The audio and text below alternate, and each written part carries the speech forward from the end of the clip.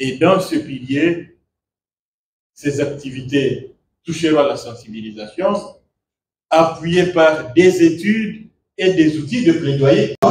Qu'est-ce qui est adéquat, qu'est-ce qui est amélioré et qui mériterait un plaidoyer pour les changements des lois actuelles? Ça prend du temps. Messieurs, à vos titres et qualités respectifs, bonjour. Bonjour. Au nom euh, de notre consortium national, partenaire d'AFSA, je pense à Rico, ici représenté par Madame Cathy, à mon collègue Josué Aruna de CBS. Ils ont permis à ce que je prenne la parole pour vous souhaiter la bienvenue.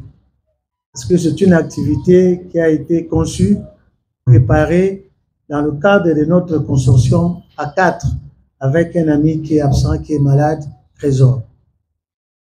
Nous voulons vous dire merci pour avoir répondu à notre invitation et merci aussi pour avoir cru en ce que nous avons commencé l'année dernière avec notre partenaire AFSA. Beaucoup parmi vous se sont retrouvés avec nous au Pullman l'année passée lorsqu'on a lancé des grands meetings biodiversité, conservation et système alimentaire en RDC.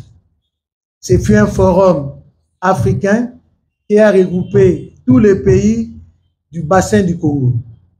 À l'issue de ces forums, il y a eu des espoirs qui ont été euh, montés et une des réponses, c'est cette initiative pour la biodiversité, les climats et l'agroécologie dans le bassin du Congo.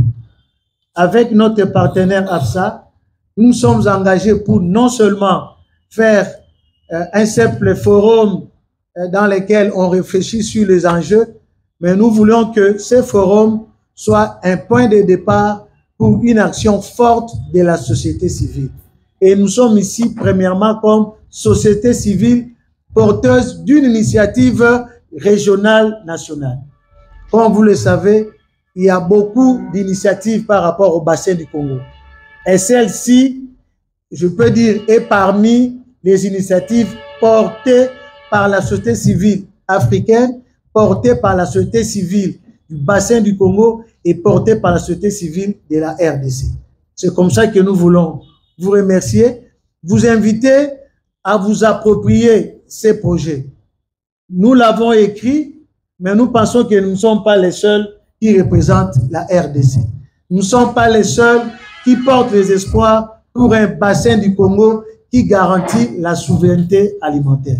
C'est comme ça que nous vous avons invité pour partager avec vous ces documents et recevoir vos avis pour qu'enfin ces documents reflètent exactement ce que la société civile congolaise espère de son bassin du Congo comme poumon euh, du monde, comme aime le dit le président de la République. Voilà donc le sens de cette rencontre. Nous comptons sur vous, nous comptons sur votre engagement hier, aujourd'hui et demain pour la mise en œuvre de ces grandes initiatives. Si je connais mes droits, je connais ceux qui ont la responsabilité de pouvoir faire en sorte que mes droits soient respectés, si nous nous organisons, c'est sûr que ce que nous recherchons, nous allons l'atteindre. Et qu'est-ce que nous recherchons? Ce que nous recherchons, c'est la souveraineté alimentaire. Être capable de décider nous-mêmes sur ce que nous voulons consommer, comment nous voulons les consommer et comment nous voulons les protéger. Ça, c'est un élément fondamental. La plupart des cas, euh, souvent en Afrique, nous mangeons par procuration. On réfléchit sur ce que nous, nous devons manger.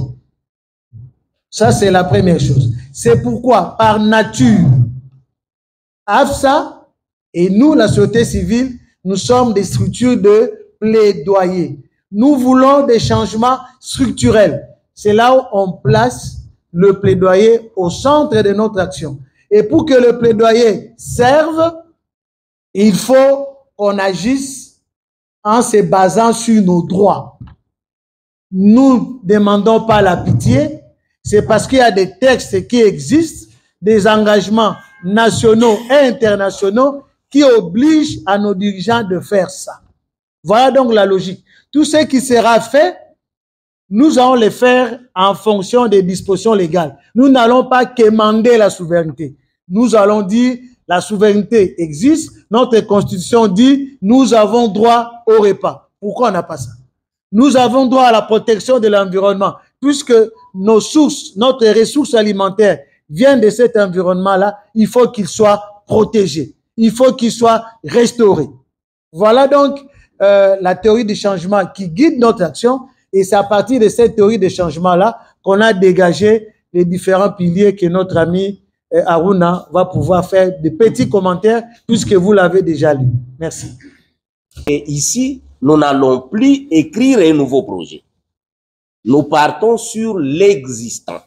Juste donner nos observations et nos recommandations par rapport à certains piliers et soumettre les documents qui va orienter l'équipe technique et du consultant qui est en train d'étoffer les documents euh, africains de AFSA pour qu'ils soumettent ça aux partenaires et que les activités commencent d'ici 2025. 1 se concentre sur les activités de plaidoyer qui mènent vers un changement. Ça, je suis très satisfait. Il y a plusieurs acteurs ici qui sont déjà engagés dans le plaidoyer et ce n'est pas une thématique nouvelle. Le pilier D, comme vous le voyez, ça renforce le mouvement agroécologique. De la base, c'est-à-dire au niveau des ETD, au niveau des provinces et au niveau national. Et c'est ce mouvement agroécologique qui va pousser et porter la voix au niveau du ministère de l'Agriculture et de nos députés pour nous aider à mettre en place une politique nationale qui serait sous les du ministre, de nous aider à mettre en place une politique nationale du système alimentaire durable de la RDC et de l'agroécologie. C'est très important. Le pilier 3, c'est le pilier qui vise à renforcer les capacités de recherche et action. Dans la société civile, nous nous sommes dit, nous ne pouvons pas continuer à faire les plaidoyers qui ne sont pas basés sur les, les évidences scientifiques. Pour convaincre les autorités du pays, notamment le ministre des tutelles, notamment le, député qui doit voter des lois et consorts, nous devons nous baser sur des évidences scientifiques afin que ces, ces évidences puissent nous aider à éclairer la lanterne de décideurs politiques. Donc, voilà pourquoi la présence des universités s'avère très capitale depuis le début de ce processus. Le pilier 4, qui est le pilier euh, des, mises à l'échelle. C'est-à-dire, on ne peut pas dire qu'il y a qu'il y a rien qui s'est fait au pays. Il y avait des initiatives qui étaient déjà en cours, mais avec ce que nous venons ensemble, nous sommes en train de discuter ensemble, nous allons réfléchir comment mettre à l'échelle, du plus bas au plus grand échelle au niveau national. S'il y a l'organisation de foires alimentaires à Kinshasa, nous voulons le voir s'organiser au Congo central, en Équateur, au Kivu, au Katanga et consorts. Et aussi l'organisation euh, des marchés territoriaux. Parce que le Congo ne va pas continuer à tendre la main pour euh,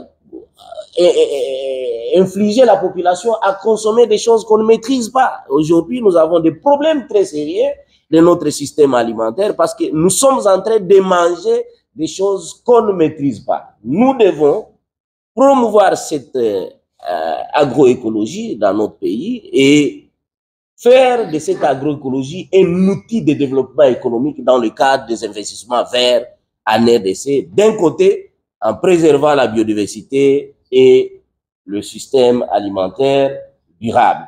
Maintenant, l'approche du projet est comment? Dans l'approche du projet, il y a l'approche de collaboration. C'est-à-dire, le projet va forger sur des partenariats avec les communautés, les gouvernements et les ONG et les universités, dont nous sommes tous représentés dans ces cadres ici. Et nous avons vu qu'il y a même des acteurs ici qui n'ont pas été avec nous lors de la réunion du forum euh, régional qui était organisé à Kinshasa. Et aujourd'hui, nous sommes tous ensemble parce que nous voulons former une unité, une cohésion nationale qui fera de nous une force. Il y a leur deuxième approche, c'est l'approche de l'innovation, c'est-à-dire nous, nous allons intégrer des technologies, des pratiques innovantes en matière de l'agriculture durable. Donc, euh, qui viennent renforcer. Il y a plusieurs documentations, il y a plusieurs recherches qui, qui, qui, qui ont été documentées dans le cadre de l'agroécologie. Et quand on parle de l'agroécologie, il y a beaucoup d'aspects qui sont euh, en, ligne de compte. C'est différent de ce qu'on appelait des smart euh, agriculture, donc l'agriculture intelligente, quelque chose pareil. Donc c'est très très différent quand on est dans l'agroécologie. Il y a beaucoup d'aspects et ces aspects viennent vraiment répondre euh, aux dispositifs de notre pays où les communautés sont bien préparées pour ça et nous avons des terres et nous avons la capacité de produire euh, vraiment en grande quantité en travaillant plus sur les petits exploitants agricoles il y a le suivi et évaluation. Donc, l'approche va intégrer un mécanisme de suivi régulier de l'impact afin d'ajuster les stratégies et améliorer le résultat. Voilà pourquoi je vous ai dit, euh, il y aura, euh, après, dès que nous allons terminer ce que nous, allons soumettre chez AFSA, il y aura des réunions pour finaliser et mettre en place une structuration et Aujourd'hui, nous sommes très heureux parce que euh, au moins le, le, secrétariat général euh, nous a délégué Madame Noélie qui est avec nous. Donc, nous allons travailler côte à côte avec euh, le gouvernement national pour voir de quelle manière nous pouvons faire bouger les lignes dans le système alimentaire durable. La dernière approche se basera sur l'adaptation. Donc, adaptation, on doit contextualiser les activités pour les, euh, pour les adapter aux divers contextes nationaux et locaux. Parce que il y a des écosystèmes très variés, des biotopes très variés dans le bassin du Congo et spécifiquement en RDC, des réalités divergentes et alors le projet doit maintenir son cap en s'adaptant selon chaque contexte euh, et selon notre diversité euh, en République démocratique du Congo. Donc, de manière brève, c'est un peu ça le sommaire euh, euh, de ce travail qui nous fait réunir ici. Donc, vous êtes ici pour valider au niveau national parce qu'il y a des travaux qui ont été faits dans les provinces, notamment Sud Kivu, Nord Kivu, Maniema, Chopo, je pense Congo central, il y a l'Équateur, euh, donc il y, a, y a des consultations qui ont été réalisées dans les provinces et toutes ces consultations ont été versées au bureau qui s'occupera de la compilation. Et ici à Kinshasa, vous allez aussi revenir sur ça et donner vos observations. Je voudrais vous, vous remercier pour la, la patience. Je sais qu'il y a des amis qui sont arrivés un peu plus tôt, à, à 8h30, et nous avons attendu 10h, 10h30 pour démarrer, et avoir la salle, la salle ne s'est pas dégarnie, vous êtes restés jusqu'au bout, nous sommes restés jusqu'au bout. Cela signifie que le sujet nous intéresse, nous intéresse nous tous. Et pour ça, je voudrais nous féliciter et demander si nous ne pouvons pas nous applaudir pour ça.